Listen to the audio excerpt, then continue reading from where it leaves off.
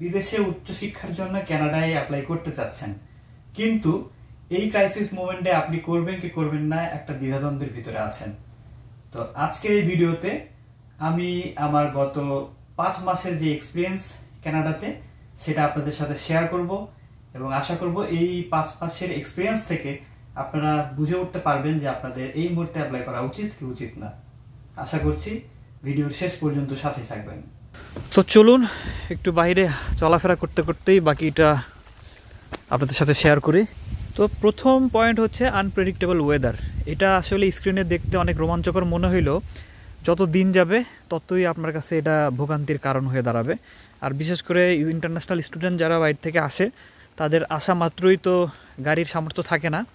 তবে মজার বিষয় হচ্ছে যে ওয়েদার যতই আনপ্রেডিক্টেবল হোক, আমি একজন প্রকৃতিপ্রেমী হিসাবে এমন কোনো জায়গা এখনও পাই নাই যে যেখানে গিয়ে আপনার মনে হবে যে জায়গাটা সুন্দর না জায়গাটা আসলে অনেক সুন্দর YouTube video? Yes Oh, nice.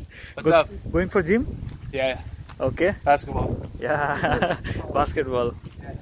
He is our flatmate. He is very nice guy. Thank you. Yeah.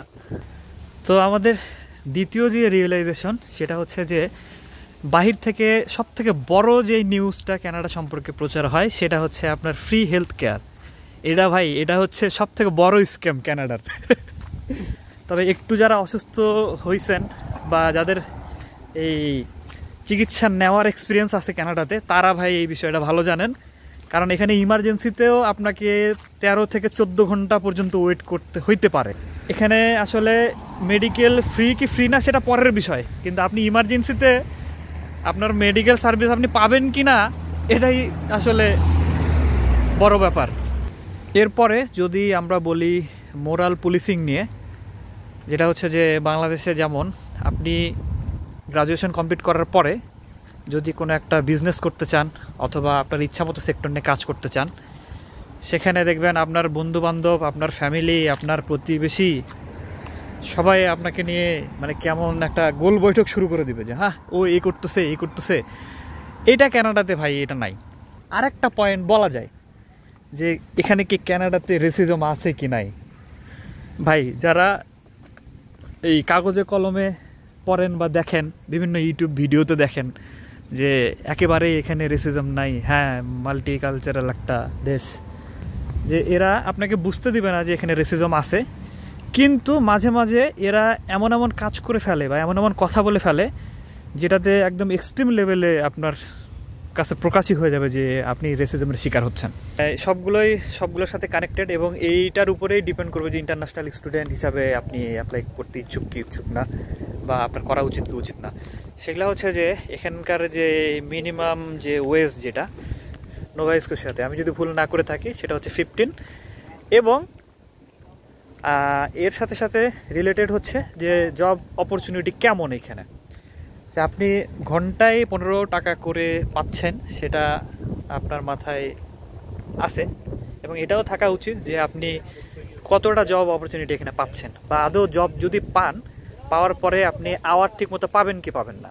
আপনি যদি চিন্তা করেন যে আমি নিজের খরচ নিজেই চালাবো এবং নিজেই টিউশন ফি দিব, অবশ্যই টিউশন ফিটা আগে থেকেই ক্যালকুলেট করে রাখবেন এবং সেই টিউশন ফি অনুযায়ী সেই লিভিং কস্ট অনুযায়ী আপনি যে জায়গায় যেতে যাচ্ছেন ওইখানে আপনি জব অপরচুনিটি কেমন এবং ওয়েজ কেমন সব কিছু মিলাই হ্যাঁ, আপনি আদৌ সেটা পারবেন কি পারবেন না সেটা প্র্যাকটিক্যালি একটু ইনভেস্টিগেশন করার চিন্তা করবেন। এটাই আসলে সব থেকে বড় কথা। তো কথা হচ্ছে যে অনেক কিছুই বলতেছি তো এখানকার পপুলেশন নিয়ে একটু কথা বলি। এখানকার পপুলেশন আসলেই অনেক কম। যেটা আমাদের ধারণারও বাহিরে এবং এই কম পপুলেশনের কারণেই এদের জব অপরচুনিটিও অনেক কম হয়ে থাকে এবং সবই ক্যালকুলেটেড এদের যা কিছু আছে। আর এটা একদিক থেকে খারাপ, আরেক দিক থেকে ভালো। কারণ যেহেতু পপুলেশন কম, সেহেতু এখানে অনেক অপরচুনিটি ভবিষ্যতে ক্রিয়েট হইতে পারে। কথা বলতে হবে যে পলিটিক্যাল স্টাবিলিটি যেটা। এইটা তো বাংলাদেশের অবস্থা তো সবাই জানেন। কিন্তু কানাডাতে এই একটা অন্তিম মুহূর্ত যাচ্ছে, যেটা হচ্ছে যে পলিটিক্যাল ক্রাইসিস সেটা সবাই জানেন জাস্টিন ট্রুডো এবং তার বিপরীতে যে আছে। তারপরেও বাংলাদেশের থেকে অনেক ভালো অবস্থা। এখানে এই মারামারি, হাঙ্গামা এগুলো আসলে নাই। এবং হ্যাঁ আরেকটা পয়েন্ট নিয়ে কথা বলতে হয়, সেটা হচ্ছে যে কোয়ালিটি অফ এডুকেশন এটা নিঃসন্দেহে বলা যায় যে এখানকার যে এডুকেশন সিস্টেম এটা আপনাকে জোর করে হজম করানোর এডুকেশন সিস্টেম না। এখানে এমনটা না যে আপনাকে পড়াশোনা করতেই হবে। ম্যাক্সিমাম যেটা দেখছি, যে এরা স্কুল লেভেল পার করে মানে ইন্টারমিডিয়েট পর্যন্ত পড়াশোনা করে ম্যাক্সিমামই ওরা এই ডাক্তার ইঞ্জিনিয়ার এভাবে দৌড়ায় না আর কি যেটা করে, ওদের নিজ নিজ যে যে কাজ ভালো লাগে, সেই কাজের উপরে একটা ডিপ্লোমা নেয় এবং সেই কাজটাই ওরা করে যায় আর কি আর ওদের প্যারেন্টসও এরকম বাংলাদেশের মতো, আমাদের মতো না, যে ফোর্স করে যে তোমাকে ডাক্তার হইতেই হবে, তোমাকে ইঞ্জিনিয়ার হইতেই হবে। তো এই জিনিসটা খুবই ভালো এবং এই কারণে ওদের কোয়ালিটি অফ এডুকেশন অনেক ভালো। কারণ স্বশিক্ষায় শিক্ষিত একটা কথা আছে না, যে নিজের যেখানে আগ্রহ থাকে, সেটাই ওরা করে। এবং আরেকটা বিষয় যেটা না বললেই না, সেটা হচ্ছে যে হোম সিকনেস যারা ফ্যামিলির সাথে সবসময় থাকতে অভ্যস্ত এবং ফ্যামিলি ছাড়া কখনো বাইরে থাকাও হয়নি, তাদের আমি বলব যে এখানে খুবই পেরেশানির ভিতরে থাকতে হবে। যে একদিন, দুই দিন, এক মাস, দুই মাস, ওকে, ঠিক আছে।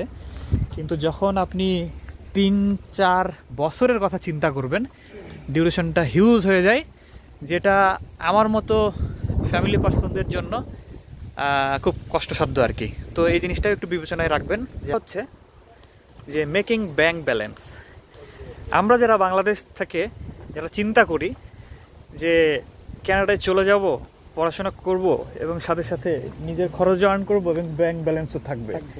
তো ভাইয়া প্লিজ এই ধরনের চিন্তা ভাবনা করার কিছুই নাই। আপনি যতদিন স্টুডেন্ট থাকবেন যতদিন আপনার পড়াশোনা থাকবে plus part time work permit থাকবে ততদিন এটা ইম্পসিবল কথা হলো আপনি যে যেই চাকরি করেন না কেন যে পজিশনে থাকেন না কেন আপনাকে ম্যাক্সিমাম মানুষই অনেক রেসপেক্টফুলি কথা বলবে। এখন কথা হচ্ছে যে অনেক পয়েন্টে আমি হয়তোবা মিস করে ফেলছি। কারণ এক ভিডিওতে আসলে সব পয়েন্ট মনেও থাকে না। তো আপনারা যারা কানাডাতে এই মুহূর্তে আছেন, যাদের অনেক এক্সপিরিয়েন্স হয়ে গেছে কানাডাতে তো আমি আশা করব তারাও আপনারা কমেন্টে এসে সব কিছু যেগুলো মিসিং হয়ে গেছে, সেই পয়েন্টগুলো নিয়ে কথা বলবেন। এবং যেগুলো নিয়ে কথা বলছি, এগুলো যদি উল্টাপাল্টা কিছু বলে থাকি, বা আমার এই পাঁচ মাসের অভিজ্ঞতায় যদি কিছু বাকি থাকে, বা অন্যরকম হইতেও পারে ভবিষ্যতে, সেটাও আপনারা বলবেন। আর সবসময় চিন্তা করবেন যে আপনি যে ভিডিওটা দেখছেন, এটার ডেটটা কবে? আর রাইট নাও যে সিচুয়েশন যেমন জব প্রাইস ক্রাইসিস চলতেছে তারপর হচ্ছে আপনার অ্যাকোমোডেশন ক্রাইসিস চলতেছে রাইট তারপরে হচ্ছে যে আপনার স্টুডেন্টদের এখন একটু প্রবলেম হচ্ছে থাকা লিভিং কস্ট প্লাস তার পড়াশোনার যে খরচ সেটা বাংলাদেশ থেকে নিয়ে আস নিয়ে আসতে হচ্ছে এখন। তো সব কিছু মিলাই আপনি ডিসিশনটা নেবেন এবং হয়তো বা ভবিষ্যতে চেঞ্জ হইতে পারে। আপনি যখন অ্যাপ্লাই করতে যাচ্ছেন, সেই মুহূর্তে আপনি এই জিনিসগুলো বিবেচনা করে তারপরে ডিসিশনটা মেক করবেন। তো আমি আসলে নিজের লাভের জন্য কাউকে বিপদে ফেলতে চাই না। অবশ্যই আপনারা প্রপারলি মেন্টাল প্রিপারেশন নিয়েই তারপরে সব কিছুতে আগাবেন। তো ঠিক আছে, আজকে এতদূর পর্যন্তই অনেক কথা বলে ফেলছি। ভালো থাকবেন, সুস্থ থাকবেন ইনশাল্লাহ আবারও আপনাদের সাথে দেখা হবে। আর যদি আরও কিছু জানতে চান, আমি খুব একটা এক্সপার্ট না। তারপরেও আমি চেষ্টা করেছি আমার এই ছোট অভিজ্ঞতা থেকে আপনাদের সাথে শেয়ার করার। ভালো থাকবেন, সুস্থ থাকবেন, আল্লাহ হাফেজ।